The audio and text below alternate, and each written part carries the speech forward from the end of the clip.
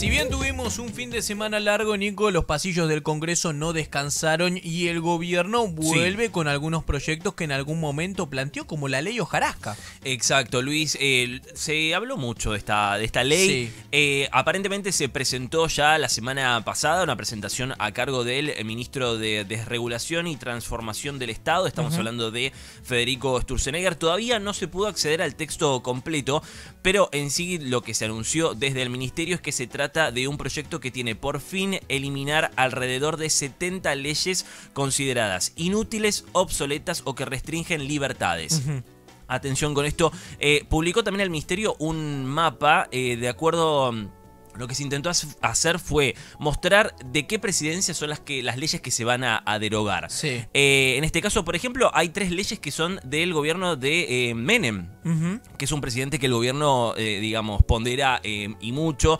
También leyes que tienen que ver, por ejemplo, con la época de Perón, de Lanuse, de María Estela eh, Martínez de, Perón, eh, y muchos otros más, inclusive también de la, de la dictadura de Jorge Rafael Videla. En ese caso, por ejemplo, son cinco leyes. Todavía no se especifican bien cuáles son, pero es un proyecto que ingresó a la Cámara, que va a empezar a tener tratamiento en las comisiones. Todavía hay que ver cuál va a ser el giro que se le va a dar a eh, la comisión. Pero eh, son algunas leyes que, según eh, estuve evaluando, no van a traer mucho. No van a traer mucha polémica porque en realidad son leyes que es cierto que han quedado obsoletas con el tiempo. Eh, por ejemplo, eh, se propone eliminar la famosa ley 20.120 del gobierno de Lanuse que habilita al Estado a prohibir reuniones privadas entre ciudadanos Sí. nos cuesta creer que todavía 2024 esa ley, esa ley. siga existiendo, Claro. eh, con lo cual va en ese sentido. También impulsaría la supresión de dos leyes del gobierno de María Estela Martínez de Perón, la 20.802 que impide la libre circulación por el país y Ujú. Eh, en tiempos obviamente de la guerra, ¿no? Con, con la, con la guerrilla, eh, la ley 20.959 que deroga el permiso de libre estacionamiento para legisladores en todo el país Sí. Rarísimo eso. Eh, y también una ley que obliga a ciertas industrias a difundir temas de interés del Estado en forma compulsiva. Después también se propone eliminar dos leyes del gobierno de facto de Viñone. Por un lado, una ley que permite al Estado exigirle a las empresas privadas la relocalización de sus actividades eh, productivas. Eh, y también otra norma que habilita el confinamiento forzoso de enfermos de lepra. Sí. También son leyes que han quedado en el tiempo. Completamente desactualizadas. El gobierno se ve que hizo eh, un estudio sobre todo el campo, digamos, eh, jurídico, legislativo del Correcto. país, encontró estas 70 leyes que son las que van a, a- a derogar. En este sentido, creo que, obviamente, el gobierno lo anuncia con mucha pompa. Creo que no va a traer mucha resistencia de la oposición, porque de verdad que por lo menos las leyes que se están viendo que se van a derogar no van a traer mucha eh, modificación en el día a día de la gente, ¿no? Con lo cual, eh, no, no, no, no creo que genere mucha discusión dentro del Congreso de la Nación. Lo que dicen es que la derogación de las normas tiene que ver con leyes que limitan la libertad individual y restringen el derecho de propiedad, leyes que eliminan trámites inútiles y sin sentido, también que fueron eh, superadas, actualizadas y mejoradas por otras leyes posteriores. Correcto. Con lo cual también uno ahí dice, bueno, si se modificaron esas, esas leyes, ¿por qué no se derogaron? Y siguen todavía aún vigentes, leyes que han quedado obsoletas, leyes que dejaron de tener sentido porque definían obligaciones eh, para instituciones que dejaron de existir también, y leyes que crean organismos con financiamiento público cuando deberían solven- solventarse a sí mismos. Ahí me parece que es donde sí va a estar el debate en el Congreso de la Nación, pero después el resto de la ley Ojarasca eh, pasaría casi que eh, sin complicaciones en el Congreso. Eh, este fin de semana, fin de semana largo, me tomé la tarea, Luis, ya que se habló tanto del tema de las auditorías. Nadie en las laburó y usted se puso a laburar, es increíble. Yo eh, tengo, hay un momento que me ilumino domingo a las 7 de la tarde, Sí. que obviamente estoy preparando el programa del lunes, ya viendo la semana.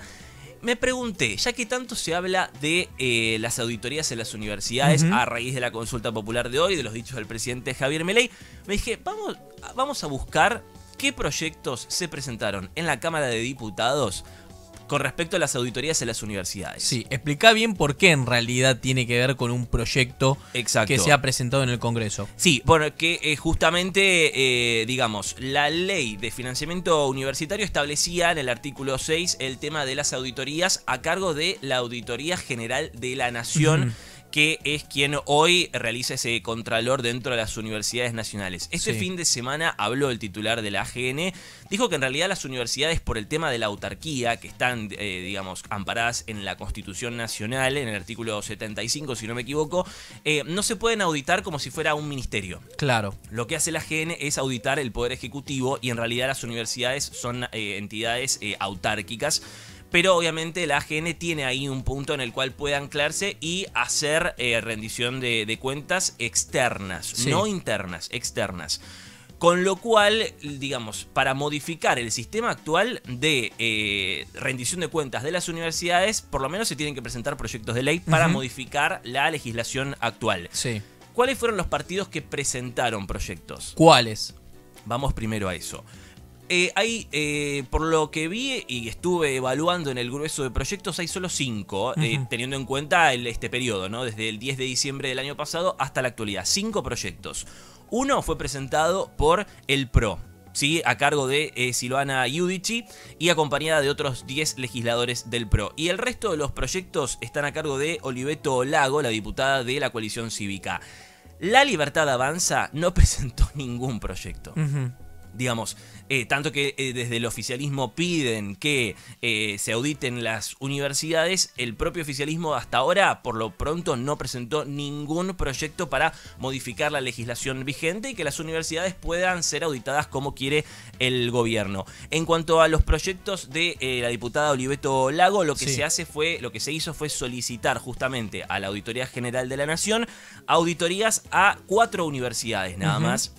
Porque lo que hay que aclarar es que la, la Auditoría General de la Nación elige determinadas universidades para hacer la rendición de cuentas en un determinado año. No es que se hace todos los años de corrido. Claro. En este caso, para 2025 tengo entendido que son 12 universidades, eh, por ejemplo, la Facultad de Medicina de la UBA, pero en este caso lo que hizo la coalición cívica fue pedir eh, auditorías en la UBA, en la Universidad de Buenos Aires, en la Universidad de 3 de Febrero, en la UNTREF, en la Universidad de Lomas de Zamora y en la Universidad de General San Martín, de esas cuatro universidades. El único proyecto que intenta modificar la legislación vigente tiene que ver con el del PRO. Es una ley de transparencia en universidades nacionales que tiene el objetivo de facultar a la Sindicatura General de la Nación, la CIGEN, que es la eh, responsable de auditar todo lo que tiene que ver con la ley de administración financiera, para que este organismo, la CIGEN, realice auditorías en las universidades nacionales eh, estatales, obviamente respetando el principio de autarquía de las eh, universidades, ¿no? Más allá de las auditorías propias de la Auditoría General de la Nación, le dan poder a la CIGEN. Estuve eh, indagando sobre esta cuestión particular de la CIGEN. Hubo un comunicado que publicaron hace poquitos días a raíz de dichos de Carlos Pagni en eh, su programa. Dicen que en realidad la CIGEN eh, no, no, no, es, no es que se retiró de la auditoría de las universidades, sino que fueron impedidos de continuar con su labor por un dictamen del Procurador del Tesoro de la Nación, Zanini, en el 2022 Sí. Justamente hablando de esta cuestión de que no podían eh, interceder en la autonomía de las universidades. Con lo cual este proyecto lo que hace es devolverle la potestad a la CIGEN para que eh, puedan auditarse las universidades. Llama la atención este punto, que por lo pronto es el único proyecto concreto que se presentó para poder modificar el sistema de auditorías en las universidades. Es un proyecto que se presentó el 8 de, eh, de octubre, es muy reciente. Tuvo dos giros, eh, en primer lugar a la Comisión de Educación y luego a la Comisión de Presupuesto y Hacienda. Resta ver en los próximos días eh, si es que va a haber algún tipo de convocatoria. Fue un proyecto que, por lo menos en la prensa, pasó sin pena eh, ni gloria y es importante destacar porque tiene que ver con esta discusión y llama la atención porque si bien la autora del proyecto es la diputada Giudici, el resto de los firmantes son todos del PRO, no hay ninguno de la Libertad Avanza. Correcto. Es decir, el, el- reitero, el partido, el bloque oficialista, eh, más allá de abogar por el discurso y pedir auditorías y transparencia en las universidades, todavía no presentó ninguna iniciativa. Eso eh, por un lado. Por otro lado, también tenemos que hablar del tema de los decretos de necesidad y urgencia, Ujú. Luis, eh, porque nosotros recordamos que hace un tiempo, por primera vez en la historia, el Congreso dio de baja el DNU de los gastos reservados eh, de la CIDE. Sí. Bueno, efectivamente parece que la oposición ya está buscando votos para un proyecto que limite los decretos, de necesidad y urgencia. Eh, ya se emplazó, como ocurrió, que comentábamos hace un rato en el código de noticias, un proyecto que se mandó a comisión en la última sesión para eh, convocar a Luis Caputo para la comisión de presupuesto y hacienda. Bueno, lo mismo pasó con este proyecto que va a ir a comisión y va a comenzar a tratarse para modificar esta cuestión de que sí o sí los DNUs necesitan eh, ser anulados con los dos tercios de los votos en diputados y en senadores. Básicamente eso es lo que la oposición quiere modificar. Eh, tiene que ver con un decreto impulsado por el kirchnerismo en el año 2006 eh, contra la denominada sanción ficta que deja como único camino para derogar un DNU el rechazo explícito de ambas cámaras. Atención eh, con esto, hay que ver obviamente si van a estar los, los números. Aparentemente la Unión Cívica Radical acompañó en la votación para que se emplace este proyecto a comisión. Con lo cual se viene también una discusión ardua en este sentido, para modificar todo este sistema de eh, los decretos de necesidad y urgencia, que hay que aclarar. Una cosa son los vetos y otra cosa son los decretos. Hasta ahora la oposición no pudo resistir ninguno de los dos vetos del presidente Javier Milei, tanto la movilidad jubilatoria como el financiamiento universitario, pero sí lograron, sorpresivamente recordamos con el apoyo del PRO, dar de baja este DNU respecto de los gastos reservados de la CIDE, con lo cual en los próximos días comenzará a eh, tratarse en la Cámara de Diputados puntualmente.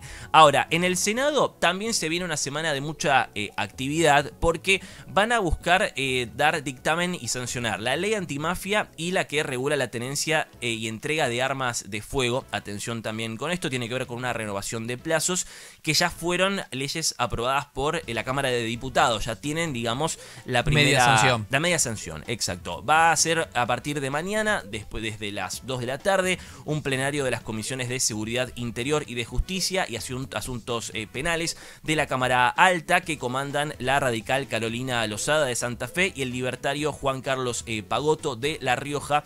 Así que atención con esto. Eh, obviamente el Senado avanza con este tipo de leyes vinculadas a la seguridad esperando el presupuesto 2025. Sí, que ya lo dijimos que si no lo aprueba el presupuesto 2025 el Congreso, se va a prorrogar el del 2023. Lo escuchábamos hoy al jefe de gabinete, a Guillermo Francos. Exacto, sí. O sea, obviamente tiene que darse todo el tratamiento particular en, el, en la Cámara de Diputados si en la Cámara de Diputados no se reúnen los votos, ya ahí ya está perdido la ley de presupuesto. Con lo cual, mientras tanto, en paralelo, el Senado sigue teniendo su propia, su propia agenda. Así que bueno, estas fueron las informaciones, el picadito de noticias del Congreso de la Nación. También esperando de cómo se van a desarrollar cada uno de los temas durante la semana. Exacto. Por lo pronto no está eh, pedida ningún tipo de sesión para esta semana, así que va a ser semana de mucha actividad en cuanto a las comisiones.